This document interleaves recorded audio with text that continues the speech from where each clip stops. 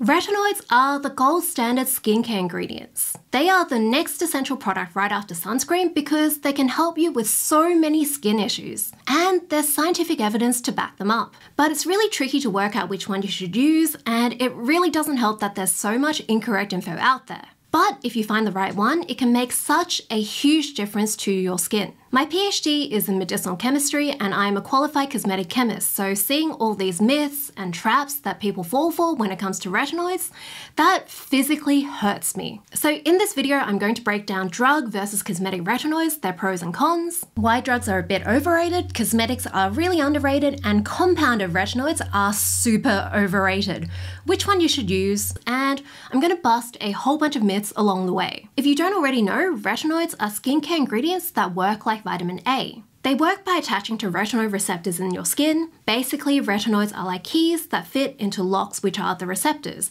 And when that happens, they will trigger an effect. Or rather, they trigger a whole bunch of effects, which is why retinoids are so great in skincare, but also why they burn your freaking face off. But we will get to that in a bit. If you're looking into skincare, you probably have some sort of goal in mind, and retinoids will probably help you towards that goal. If you have acne, then retinoids can stop pores from clogging up and turning into pimples. If you want to even out pigment, then retinoids can help normalize that pigment production process. If you want less wrinkles, smoothed out scars, and pores, then retinoids will increase collagen. That's a protein that's inside your dermis that makes it like a thicker mattress. But not all retinoids work the same, and not all products with the same retinoid will work the same either. Some retinoids are drugs, and for these you will generally need a script, but adapalene is available over the counter sometimes. Cosmetic retinoids like retinol are in regular skincare products. My PhD was mostly medicinal chemistry and I studied pharmacology in undergrad, so when I first started getting into skincare, it just seemed like, why would anyone use cosmetics when you could just use the drugs? Lots of doctors and scientists think this way, and that's because most scientists and doctors don't get taught much about cosmetics, and honestly, not that much about drugs either, or at least the finer details. But there are some really well known benefits of drugs. First off, drug ingredients have demonstrated efficacy, and that means they've gone through an approval process. It is a bit like hazing, except for molecules. There are studies done using these on lots of people, and then regulatory agencies with lots of experts checked through all that data and decided there was enough evidence to say that these are effective. So when a tube of adapalene says it'll treat acne, then it's going to do that. Or at least the chance of it doing that is going to be higher. There are other factors that can affect whether or not it'll work for you specifically, but the chances are as good as it gets. There's also a lot more independent research on drugs from lots of different research groups and less on cosmetics for reasons. Check out my previous video for that, but the conclusion is it doesn't mean that cosmetic retinoids don't work, we just have to do a lot more educated guesswork, and that's going to be in my next retinoid video. Plus, I mean, they gatekeep this stuff, it's so powerful they make you jump through hoops to get it. It just gives off a lot more like power vibes. A less obvious but really, really important upside is that the final formula of a drug is also tested for effectiveness. Now, a lot of you are probably thinking about the percentage, and you're correct, but if you've watched some of my other videos before, you'll know it goes a lot further than just that. You can't just dump 0.05% tretinoin into some random moisturizer and expect it to work as well as this guy. Basically, if you have a good drug base, it needs to convince that active ingredient to leave the product that you've just applied on your skin, go into your skin and go deep enough to reach the retinoid receptors. Some ingredients will go into skin more easily because of their properties, so they might be a bit smaller, or they might have just the right balance of oil and water solubility.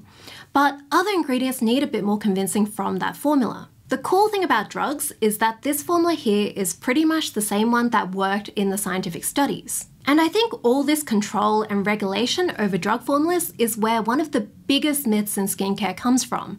I see this from influencers and dermatologists and scientists and pharmacists all the time. It's the idea that percentage is everything that matters about skincare. A lot of people fall into this trap, and it's especially people who are used to giving out actual medications like doctors and pharmacists. And that's because for drugs, you can usually assume that if the percentage of the active ingredient is the same, then the generic is going to work the same as the brand name product. But the only reason you can assume this is actually because of this regulation. In the background, regulators make brands demonstrate that their generic drug formula doesn't just have the same percentage of active, but that it actually works the same on skin. This is something called bioequivalence, and there's a whole bunch of studies that generic drug makers need to run to show that their product is bioequivalent, equivalent on the skin, to the brand name one. If it doesn't work the same and they still want to sell it, then they have to go through a whole separate, much more complex drug approval process. So when it comes to drugs, all this hard work is done by regulators and manufacturers in the background. So you usually just need to check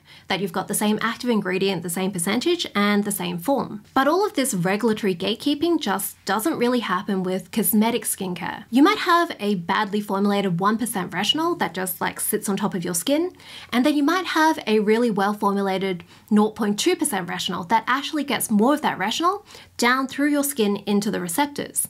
But if you're only looking at the percentage, then you would end up picking the less effective product. There's also better stability regulation for drugs. Drugs and cosmetics are both usually tested for standard stability unless there's something that's gone really wrong. So this is stuff like, is it going lumpy or moldy too quickly? But for drug retinoids, the manufacturers actually need to make sure the active ingredient lasts in their specific formula and in that specific packaging. So if you follow the storage directions on the packaging, and you should always read them, and I totally didn't read them for the first time when I was preparing for this video, it should stay pretty close to 0.05 or 0.1% until the expiry date. But most of the time this doesn't happen for cosmetics, which is a problem because retinoids are pretty unstable. They just fall apart all the time. Now some cosmetic brands do put in extra effort to make sure that their retinoid products are stable and I will talk about those in my next cosmetic retinoid video, but the thing is they don't have to. It's perfectly legal for a brand to just dump 1% retinol into a random cream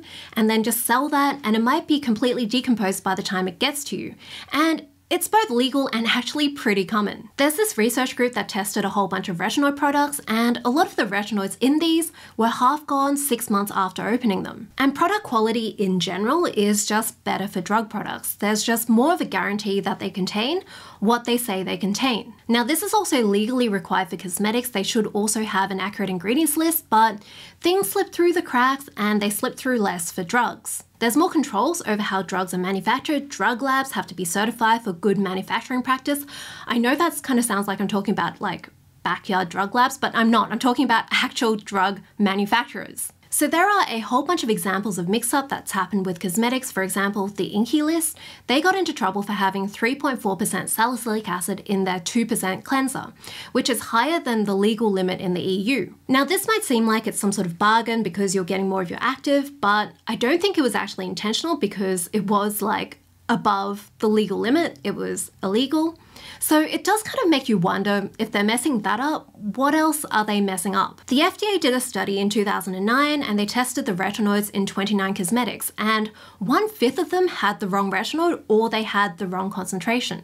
The research group from earlier, they also tested a whole bunch of freshly opened retinoid products, and almost all of the ones that had a percentage on the label had a different percentage of retinoid inside, and a bunch of them also just had the wrong retinoid inside. And again, this does happen with drug products too, but there are just a lot more safeguards in place. So all of this just makes it sound like drug retinoids are amazing, and they are to an extent, but there are also some downsides that aren't really as obvious until you've been deep in both the drug and the cosmetic worlds and you've thought about this for way, way too long. The biggest pro, in my opinion, is that there is just so much more flexibility when it comes to cosmetic formulas, which is like the flip side of all this strict drug regulation. Once a drug formula gets approved, the brand can't really change it very much without going through a new, super expensive drug approval process. And again, it isn't just about percentage or even what other moisturizing actives they have inside the formula. So for example, Altreno is 0.5% tretinoin inside a lotion base, and that base also has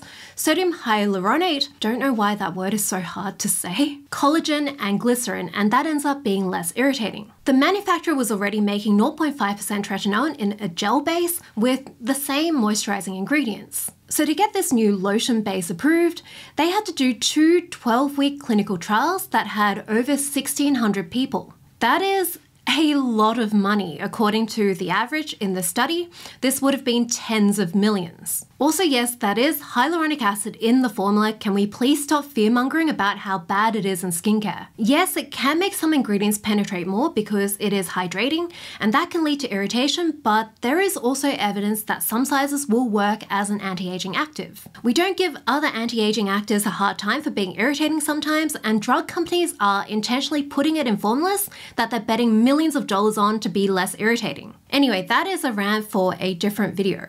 As you've probably worked out, the big reason we want flexibility in formulas is irritation. It is a huge issue, it's the main reason people drop out of clinical trials for retinoids and why people just stop using them. There are lots of hacks for making them less irritating, I did a video on this a while back, but almost everyone who uses the stronger retinoids will end up applying a bit too much at some point and you end up like a red, itchy, peeling mess. And it always happens right when you don't want to have that happening, like today when I was putting on makeup. And there's a whole bunch of evidence that you can change the irritation by changing the formula. A lot of these newer drug retinoid formulations have these sorts of features, but they are in tons of cosmetic products, but most of the time when you have a drug formula, it is super basic. And there's another bonus in this whole vein of irritation and messing up your application. Anecdotally, there is just a lot more leeway if you apply too much of a cosmetic retinoid. You aren't just slapped with regret with all this like peeling and irritation and redness like you are for drug retinoids. And this might actually be because of how cosmetic retinoids convert in skin. Most of them need to turn into tretinoin to work properly, and a lot of people see this purely as a downside. It means that they do tend to be weaker and less likely to work, but it might actually help them be essentially self limiting and time release versions of tretinoin. These are the steps for most cosmetic retinoids turning into tretinoin. These first two steps are reversible, so this might look familiar if you know a bit about equilibrium and buffers in chemistry. In theory, if you apply too much of any of these top ones, it can kind of overflow and turn into the other things and not tretinoin. They might just turn into tretinoin a bit later. But if you apply too much tretinoin, there's no pathway that goes back to the less potent versions because that is not a reversible process. So there are just less systems in place for buffering any excess overflow and it ends up being a lot less forgiving. There's also availability. Most of the time, it's just a lot easier to get cosmetic products. For most of these drug retinoids, you need to go to a doctor and have them decide if you should get a script. There's also a really limited number of drug formulas. In some countries, you can't get all of the retinoids easily, like tazarotene is really hard to get in Australia. Drug products also get discontinued all the time without having a good replacement, and it's a lot easier to buy cosmetic products from legit retailers overseas. So, drug versus cosmetic retinoids, which one should you go for? I'm going to go through some of the very general things you might want to think about. Obviously, I am a chemist, not a medical doctor, and I don't know the specifics of your situation. If you're not sure, you should really book a consult with a cosmetic dermatologist. First off, strength and tolerance. Drug retinoids are generally stronger, and most of them aren't really formulated to reduce irritation. So you do need to use them really carefully at the start, and even then, most people are going to end up having some irritation. So think about can your skin handle retinoids? This isn't the same as for other irritating ingredients. So, for example, my skin is really good at tolerating chemical peels. So, I thought I would be fine just slapping on retinol.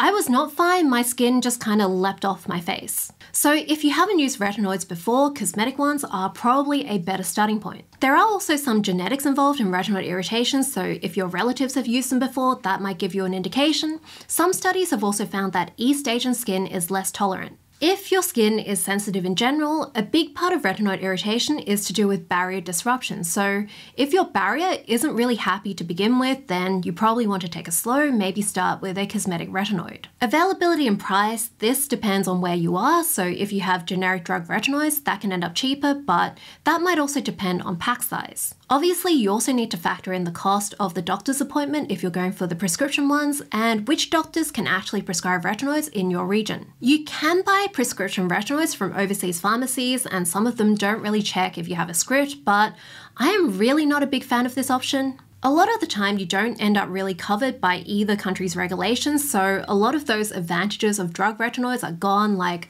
guaranteed formula efficacy, stability, and that quality control. All right, we need to talk about compounded drug retinoids.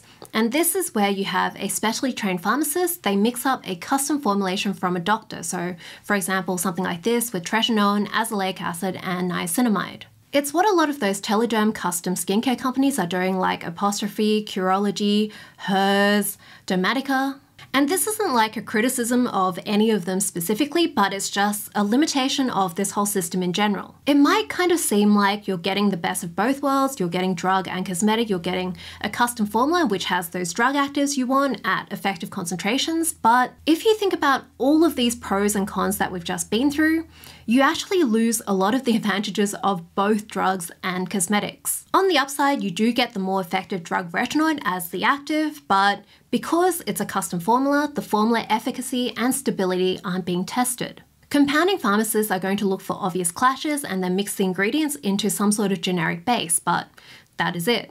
So the efficacy and stability is almost definitely going to end up worse than an off-the-shelf drug retinoid, maybe even some cosmetic skincare products that have been properly tested. The formula flexibility also isn't that great. You do get to combine actives, but the compounding pharmacy might not necessarily have a huge range, and it will depend on what your doctor gives you. You usually also don't get much choice for the base. It's a base that's been optimized to work well for a bunch of different actives. It's not really optimized to be for tretinoin or necessarily nice to use. There are some telederm companies that have nicer bases they use, but it's still not really a guarantee. In theory, they could be optimizing their formulas and making them deliver better and be more stable because they do tend to prescribe a whole bunch of formulas that are really similar. But as far as I can tell, none of them are actually doing that. All of them seem to have some reviews saying that their brand new product has like scratchy crystals in it, and that is a pretty basic stability issue that shouldn't be there for cosmetics. Their expiry dates are usually the default compounding 3 to 4 months versus 6 to 12 months for an off the shelf drug retinoid,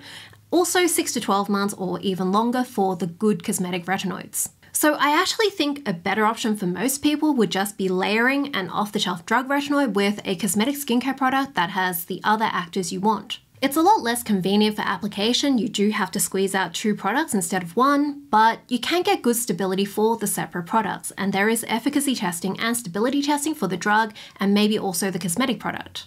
The efficacy might drop a bit if you mix them, but it is still better than no testing, and you can wait a bit in between layers to try to give it the best chance possible. But it does really depend on your situation. For some people, it might end up better because you do get that doctor's appointment wrapped up in there, but I think just the formula part is just super overrated. So that is drug versus cosmetic retinoids. We did it, Joe. Remember, you don't have to choose just one or the other. I personally will use both depending on how my skin is feeling. Now, before you start slapping a retinoid on your face, you'll want to know how you're meant to introduce them without your skin falling off. I have a video on that. And my ebook tells you how to get a skincare routine going. Next, I'll be talking about all the different drug retinoids, then I'll go into all the cosmetic retinoids. In the meantime, you can check out my deep dive on vitamin C or just my skincare science playlist. Special shout out to Sam, one of my ex students who's a pharmacist and pharmacy instructor, for helping me out on the compounding stuff, and Ruby for giving me feedback. You can check out the written version of this on my website, which has a lot more info and references.